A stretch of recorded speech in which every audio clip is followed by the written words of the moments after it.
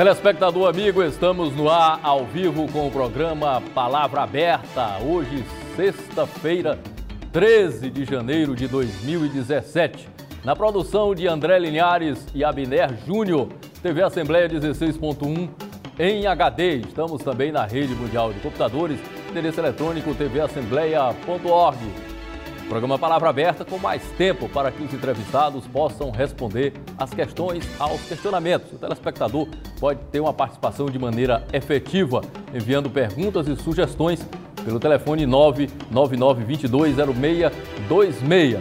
Essa importante entidade paraestatal do Sistema S, paraestatal, entidade que atua ao lado do Estado, SENAC, que assim como o SEBRAE, o SESI e outras, desenvolvem um trabalho de fomentar né, é, o desenvolvimento do país, o desenvolvimento dos Estados-membros. E o SENAC está aí com o programa Menor Aprendiz, né? Tem nesse programa 680 vagas. Quem vai falar conosco sobre esse programa é a Carolina Dornelas. Ela é coordenadora do programa, dos programas sociais do SENAC, dessa importante entidade paraestatal. Vamos falar sobre a safra agrícola a produção agrícola. Em 2016, por conta da estiagem, tivemos perdas aí acima de 50%. Para 2017, espera-se aí uma boa produção se as chuvas vierem. Né? Essa é a expectativa de todos. Sobre esse tema, quem vai conversar conosco é exatamente o Eider Mendes, supervisor de disseminação de informação do Instituto Brasileiro de Geografia e Estatística, o IBGE. Boa tarde, supervisor. Boa tarde. O que, é que poderemos esperar de 2017, já que em 2016 tivemos aí essa perda de mais de 50% na produção agrícola? É, realmente 2016 não vai deixar saudade na para a agricultura piauiense, né? Houvemos, tivemos uma perda de 56,5% na, na colheita de grãos, né, de cereais, leguminosas e oleaginosas. Nós tínhamos, tivemos em 2015 uma produção de 3 milhões de toneladas de, de, na safra 2015, caiu para 1 milhão e 317 mil. É muita perda. Né?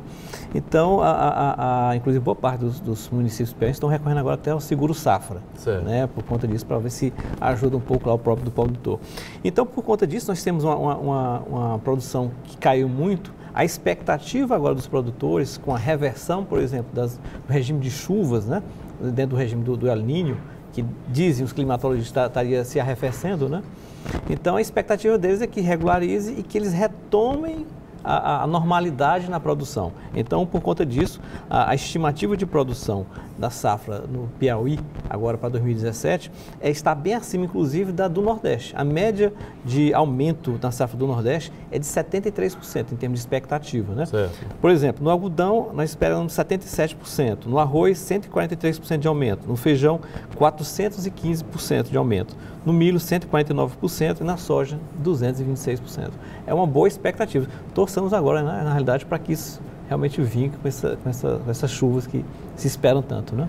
Nessa produção, qual é o carro-chefe, né, a maior produção, Bem, e qual é a que é mais sentida quando temos uma crise é, é, climática que acaba inserindo na perda da produção? Bem, a maior produção do Piauí é soja né, e também do milho. E esses são, são os carros-chefes da agricultura piauiense em se regularizando, isso aí realmente vai ter, vai ser de sucesso a, a, a nossa expectativa. O, no caso da soja, se espera, como eu falei agora há pouco, 226% e o milho 149%. E é bom ressaltar que boa parte dessa produção piauiense, ela está restrita aos cerrados piauienses, em grandes projetos, né, cerca de 200 projetos que existem por lá.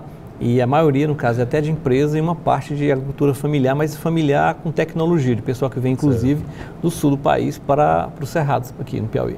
Não é, alheia a essa questão, uma pesquisa foi divulgada há pouco tempo, né, foi pela Fundação CEP, colocando ali aqueles municípios Uruçuí e Santa Filomena com a renda per capita maior até do que São Paulo.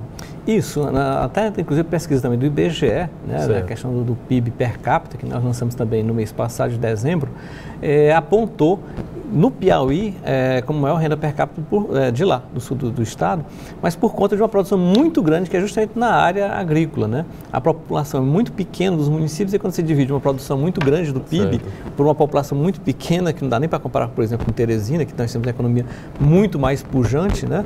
mas temos uma população muito maior, 840 certo. mil habitantes. Quase né? um milhão. Isso. Então, dessa relação. A, a, relação PIB per capita não é uma medida muito boa, assim, onde se falar em desenvolvimento. Né? Porque, na verdade, você não divide aquele bolo todo com a população, por exemplo. Se botar, por exemplo, Guaribas e Acauã... Não, aí ficaria bem aquém. Bem aqui. Agora, como é que o IBGE é, vem acompanhando? Como é realizado esse trabalho de acompanhamento da expectativa de produção agrícola, esse trabalho de campo para mensurar essa queda ou essa subida de produção? Isso. O, o IBGE mantém, é, durante o ano, várias visitas aos municípios, a todos os municípios são visitados. Né? Existe uma comissão municipal tá? onde tem o IBGE, produtores, sindicatos rurais, a própria prefeitura, onde empresas também, nesses, nesses é, municípios onde tem empresas produzindo. E a gente faz uma reunião onde se verifica a expectativa do que é que vai ser produzido, Tá? E também a, o que, é que já foi colhido. É lá que a gente pega essas informações. No final dessas reuniões, todo mundo apoia o nome dos que participaram dessas reuniões e a gente fecha essas análises. Então o IBGE faz durante várias vezes durante o ano essa mensuração para saber se a expectativa está se mantendo realmente. Né? Só que boa parte da colheita no estado do Piauí ela vai até mais ou menos o mês de maio, já se tem praticamente uma certeza do que, é que foi os resultados. Outra boa notícia no que diz respeito ao IBGE é o concurso temporário, né? Os concurseiros aí todos alvissareiros e sempre aguardam com muita expectativa esse concurso do IBGE, que são muitas vagas e, e, o trabalho imediato. Isso, o IBGE é uma das instituições do Brasil que oferece mais concursos, né? mais vagas em concurso, principalmente temporário. Então, que nossas coletas, boa parte é com, com, com pessoas temporárias, que o concurso é, tem validade, aliás, eles ficam empregados durante três anos, né? sempre o contrato fica renovando mês a mês, e é uma boa expectativa para eles. E uma boa expectativa vai ser com o censo agropecuário, que vai ocorrer em 2018, já está para a gente com os recursos garantidos, é, em que boa parte da, da, da, das, das, pessoas podem também tentar esse concurso. Vão ser mais de 60 mil vagas em todo o país. Talvez seja um dos maiores concursos feitos no Brasil inteiro. Coordenador, temos aqui a participação popular. Miss Mendes, ela é de Piripiri, ela quer que o senhor é, coloque também, além do, do, de Uruçuí que o senhor falou já, quais são as outras regiões e quais são os produtos que é, nossa agricultura se destaca.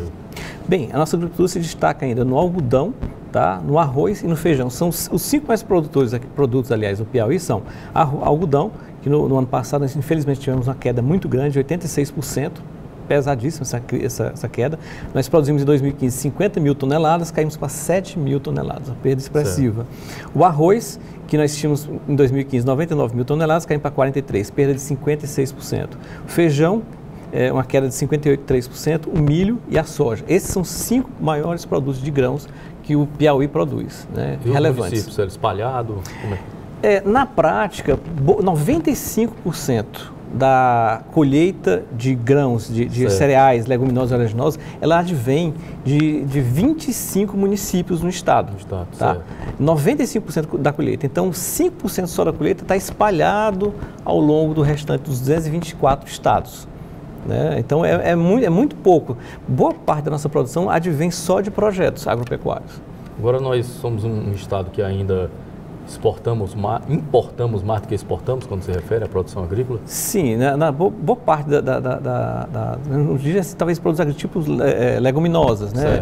É, tomate, cebola e outros produtos, o Piauí importa quase tudo, praticamente. Esses outros produtos como arroz, feijão, a gente ainda importa também porque o que a gente produz não é suficiente para para se consumir internamente. Né? O Piauí ainda importa muita coisa ainda dessa cor diária da nossa alimentação também.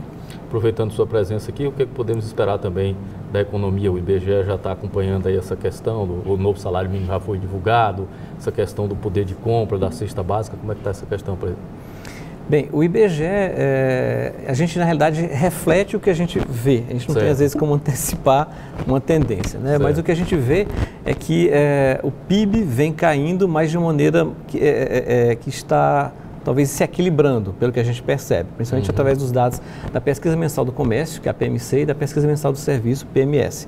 Eles, eles aferem mensalmente os dados é, do comércio e dos serviços. Certo. Então é, a gente percebe que tá uma, já, já chegamos talvez no fundo do poço, que a gente talvez pudesse dizer assim. Né? É, não está se mais caindo tanto, está equilibrado. Talvez com essa expectativa agora da redução de juros na economia, né? a gente viu ontem, anteontem, é, é, caindo o Banco Central reduzindo a taxa de juros, há, eu acredito, como economista até, uma expectativa talvez de melhorar a economia, né? Porque você, quando você libera mais recursos, ficam mais baratos, os empresários, talvez inclusive os consumidores, ficam mais interessados em consumir, investir, e isso pode começar a dar um. E a última pergunta, a faixa etária da nossa população, como é que está? Está jovem ainda ou já está começando a envelhecer? Bem, a, a, a, nós ainda temos uma população muito jovem ainda né, é. no Brasil, mas há uma tendência de envelhecer. E é, futuramente o IBGE tem até um, uns cálculos, até 2060, em que a gente vê que vai haver um envelhecimento muito grande da população. Né? Vai haver um inchaço maior nas faixas mais etárias maiores da, da, população e uma redução nas menores. E futuramente, inclusive, uma redução da população brasileira e do piauiense como um todo também. É uma tendência de, demográfica de futuro. Muito obrigado, então, Eider Mendes, é, supervisor de disseminação de informação do IBGE, pela sua participação aqui no programa Palavra Aberta. Eu que agradeço a oportunidade de a gente poder falar e trazer esses resultados que o IBGE traz para toda a sociedade brasileira.